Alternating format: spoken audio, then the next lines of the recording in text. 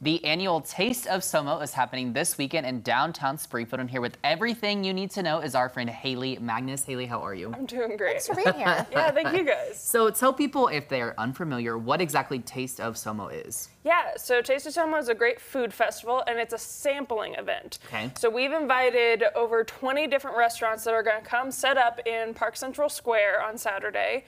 And you get to come in, you purchase tasting tickets. Uh, it's $10 for a sheet of 10 tickets, and then you exchange those tickets for all kinds of different food. So again, it's sample size, so you can go and try a little bit from Queen City Soul Kitchen. You can go try a little bit from Greek Belly, try it from Jamaica Patty, all kinds of things for just one really good meal. Yeah, Yeah. well, I was going to say, by the time you sample all these different things, You'll it's going to be, be a full. full meal Yes. anyway. Oh, yes. So tell us more about the vendors that are going to be there, the restaurants. Yeah, we've got people from all over Springfield, uh, even outside of Springfield. We've got some of our newest restaurants uh, downtown Springfield. We just got two new Mexican restaurants. They will both be there. Oh. Uh, Cabos Bonitos and El Pariso.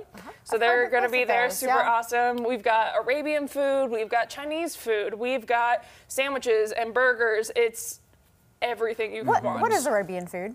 Uh, shawarma and falafel, fun stuff Okay, like that. okay. Yeah. Yeah, that makes sense. I think the thing I love most about this event is we talk so heavily, specifically on this show, but in general, about how strong the local food scene is. And this Oh, is yes. the best way to just go and try it all and Yes. kind of get it all at Yeah, once. you know especially if you're saying? nervous to like go commit to Yes, one. It's like, well, let's Yes. try it first. I you say that all the time because I'm a picky eater, but I married a man who loves to try new things.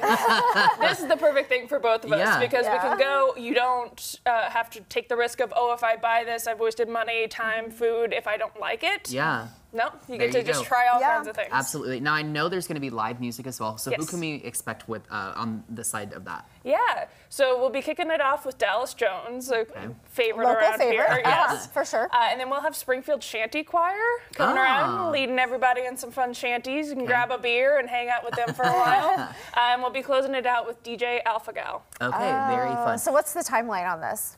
We will start at 11 a.m. and we will be going until 3 p.m. There will be food, live music, beer, drinks, all that through those whole four hours. And I love amazing weather, yeah. hopefully. A good Yes. Saturday afternoon event. Yeah. Now, A toasty, also, but very good.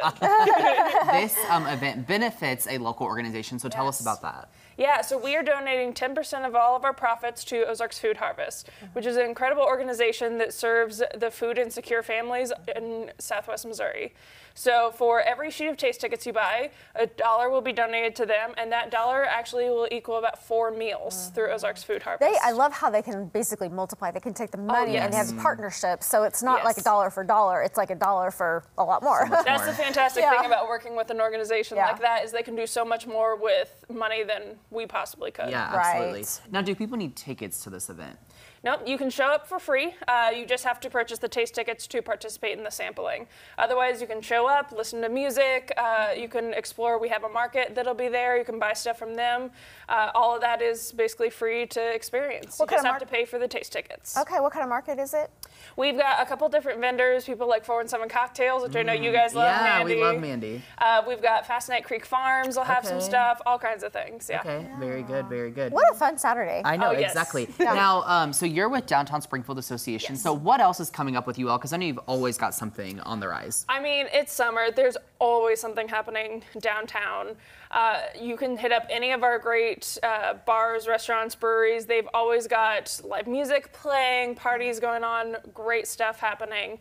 Uh, and on our side of things, we'll be heading towards the Route 66 Festival and then ultimately uh, towards the end of the summer with Cider Days as we kick Love off fall. it. Yeah. Okay. If people want more information about Taste of Somo, how can they get that? You can get it at tasteofsomo.com. Okay. Pretty perfect. easy. Yeah. Perfect. We're so looking forward to Yeah. this. Yes. I'm like hungry thinking about it. I know. Yeah, it's going to be a lot of Awesome. Well, Haley, thanks for being here. We appreciate it. Yeah, thank you guys.